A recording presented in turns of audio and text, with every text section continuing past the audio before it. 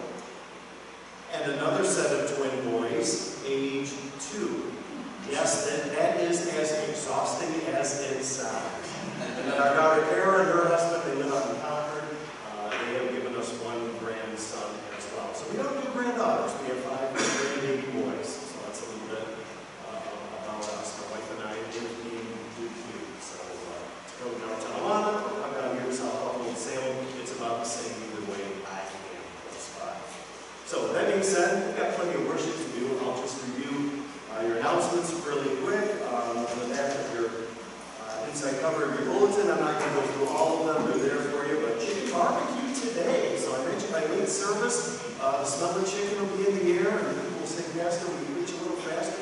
We're hungry. So chicken barbecue this afternoon. Uh, Tuesday night is our church council meeting. I will be there for that. Uh, the other one I want to point out was next Sunday, it looks like you folks have a very wonderful celebration, uh, the annual picnic and celebration of Pastor Pingle's time here in Salem friend of mine. We've been friends for, oh, probably six, seven years now. Um, you know, I, I, I had no idea when I voted for him to be the next district president that he would ask me to stand in for him here. So uh, I never saw that coming. I don't know if you're mad at me for voting for him or not. not really sure how, how to feel there. But anyways, uh, we'll be celebrating his time next Sunday.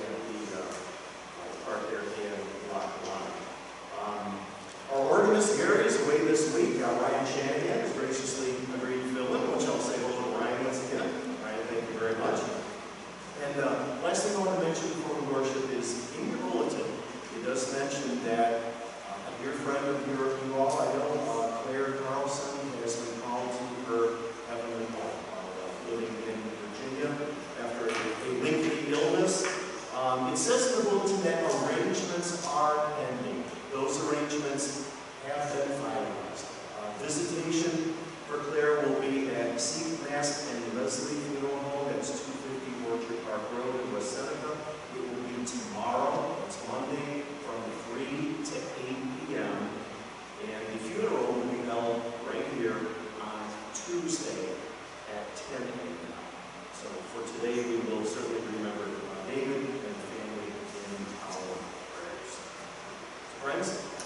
time to worship. In fact, it's time to sing. Let us rise for our opening hymn, Christ is our Lord.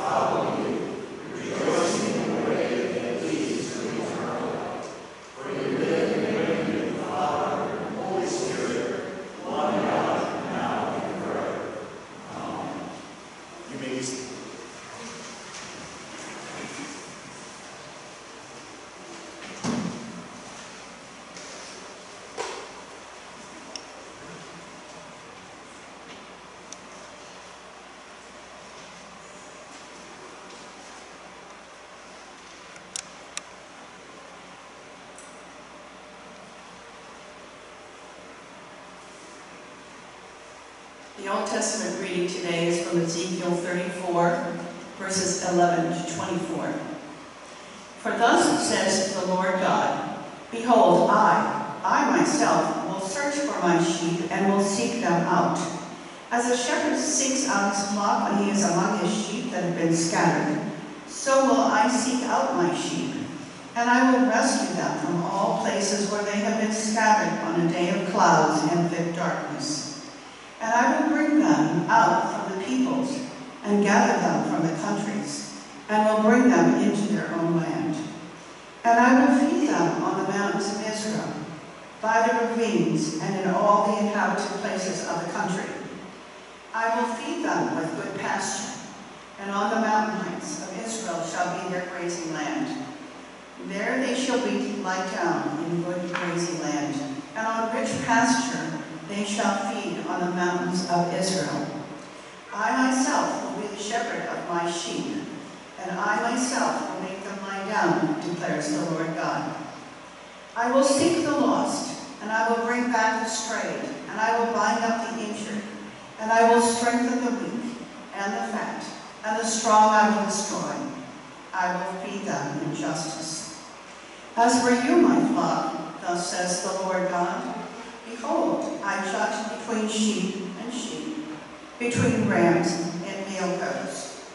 Is it not enough for you to feed on a good pasture, that you must tread down with your feet the rest of your pasture? And to drink of clear water, that you must muddy the rest of the water with your feet? And must my sheep eat what you have trodden with your feet, and drink what you have muddied with your feet?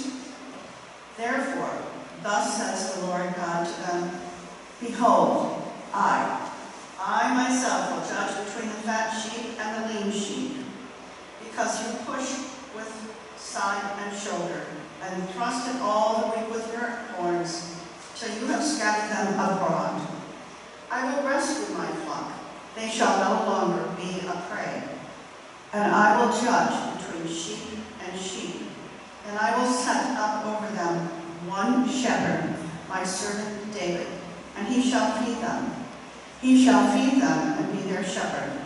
And I, the Lord, will be their God, and my servant David shall be prince among them. I am the Lord. I have spoken. This is the word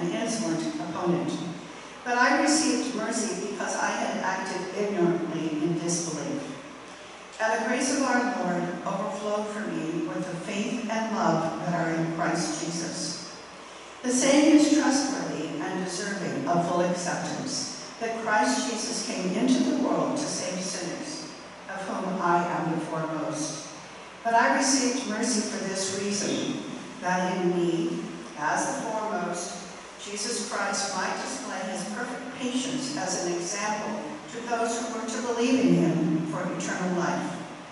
To the King of ages, immortal, invisible, the only God, be honor and glory forever and ever. Amen.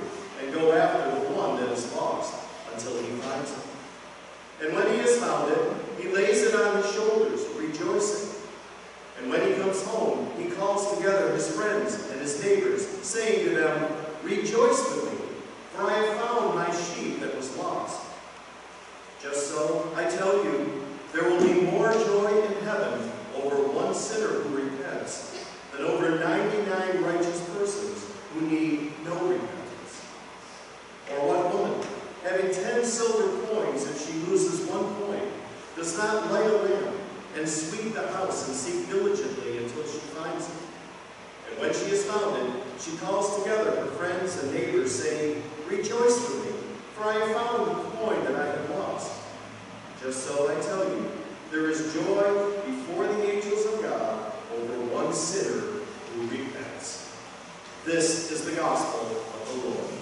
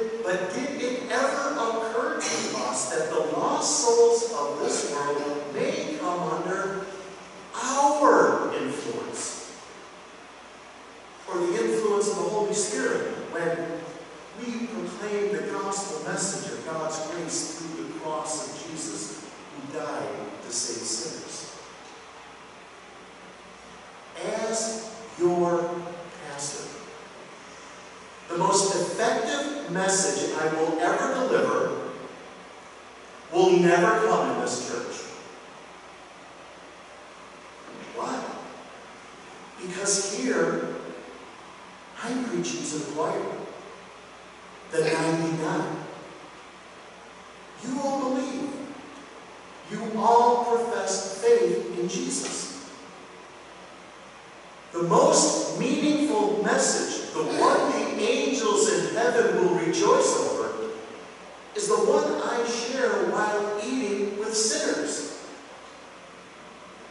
message of hope that I have in a dirty barroom with a desperate man who doesn't care about his own life anymore. The chance encounter with someone convinced that no one can love him, that he or she has made such mistakes that they're beyond forgiveness. Or the message of discovery that I share with a young adult who was raised by unbelieving parents. In a world who's ready to fill his false theology or not at all. The one who doesn't yet know there is a God who loves him and sent his own son to die for him. I won't find those opportunities here. They're outside, out there, in a lost world. And that's where Jesus was in verse 2 of our text. Last week's gospel ended with these words from Jesus. Jesus said, He who has ears to hear, let him hear. Today we see who was listening. The sinners, the down and outers, the disreputable, the immoral, the wicked, the spiritually poor, those without hope, those needing forgiveness, those needing purpose, those finding in the gospel of grace. Those the Pharisees thought neglectful in their attitude toward religion, those otherwise shunned. Much of Jesus' outreach to the lost came over a shared meal. To sit down at table and share a meal indicated acceptance. So yes, Jesus receives sinners and eats with them. Jesus, along with every angel in heaven, doesn't dwell on our past sins, but rather rejoices over one changed heart. This week, as I was preparing this first message for you, I was reminded of an old expression my mom used to say. She's got several of them. I'll quote them over the weeks to come. But upon seeing something unsightly, she used to say, that's a face only a mother could love. You remember that one? I hear you chuckling. I think back on that right now. That wasn't very flattering, was it? A face only a mother could. Meaning that this thing or this person leaves little to be desired, has an unwelcome appearance, an ugliness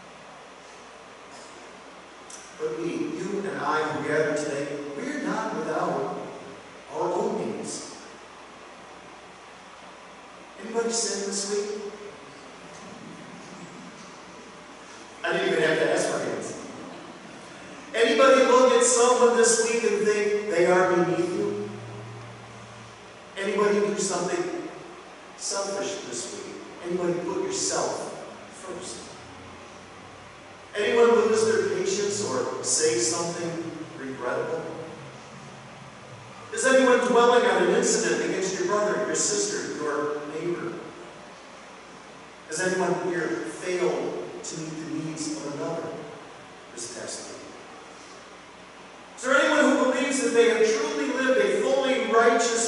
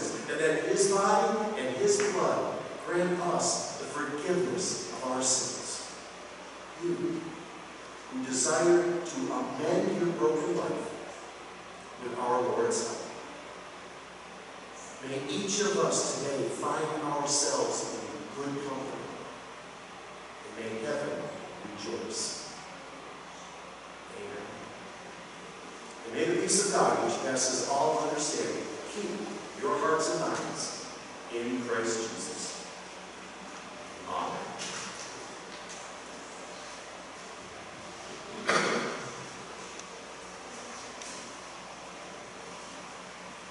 At this time, let us rise and let us make a profession of our faith using the words